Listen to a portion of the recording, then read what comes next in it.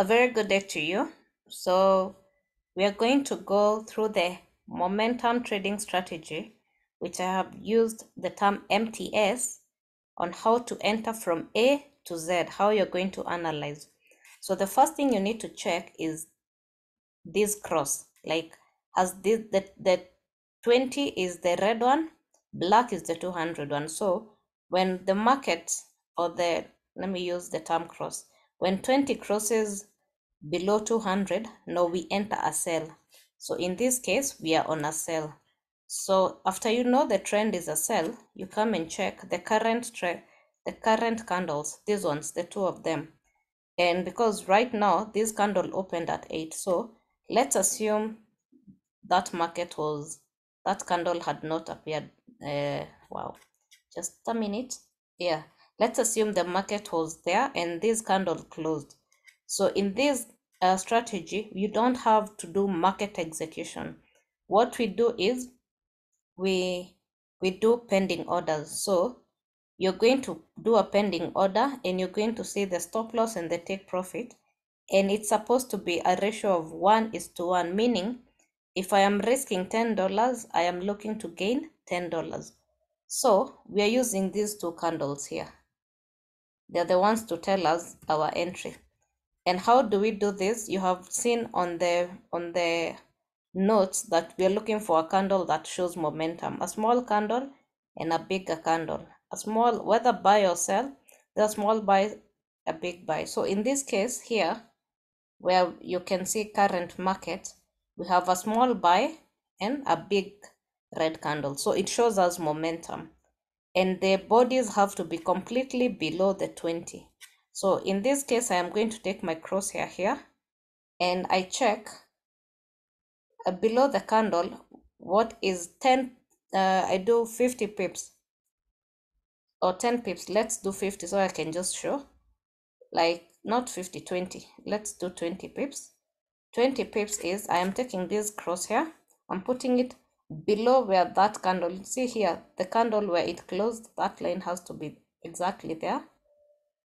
Then i pull down until i see 200 points because 200 points is the same as 20 pips. So you can see there check uh oh my hands are shaking.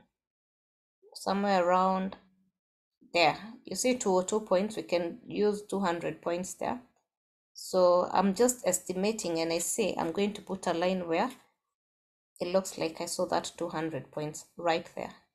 Then I come above the two candles, the farthest they had gone up, I take that and I do another 200 points. Where is 200 points? It's around there. So I'll just look at my eyes and then I go get the horizontal line and put where the 200 points are about somewhere around there. So i am going to use this. Below it i want to enter a sell stop. So this will be my entry and this will be my stop loss. And i still do another 200 points to see where my take profit will be. Oh i have gone very far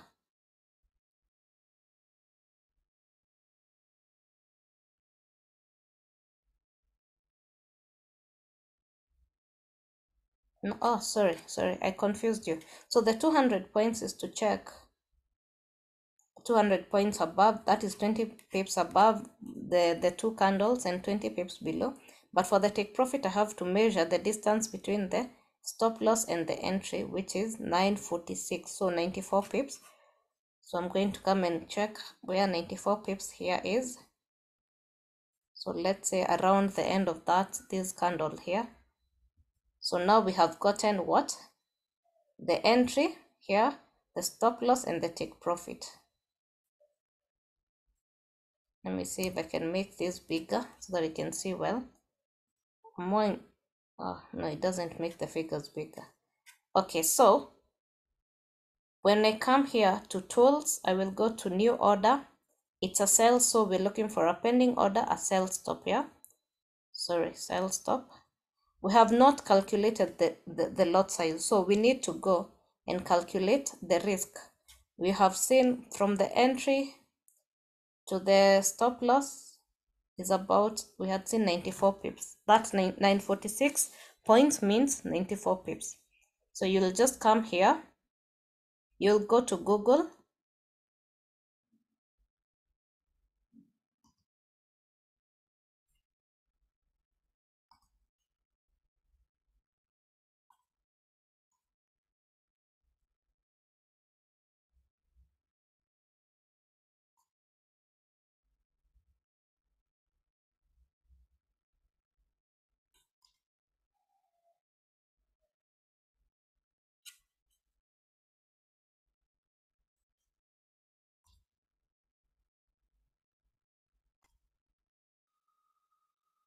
yeah so you'll just come to google. Uh let's stop sharing then i share google. You come to google and you google my fx book. Or you have bookmarked like me so you'll just go direct.